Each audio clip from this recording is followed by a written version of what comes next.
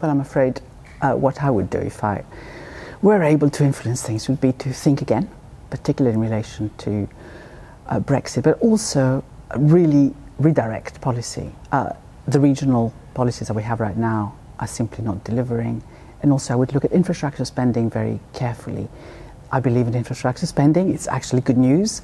But I think what we should be focusing on is not vanity projects like HS2. It should be much more connecting cities in the north, those where there isn't proper um, ability to integrate across bits of the UK. And that absolutely needs to happen. And the other thing I would certainly do is focus on housing. I mean, housing has a big multiplier. Government can borrow quite easily still um, at very low rates, and then it can invest that in new housing, which it then owns, so it has an asset.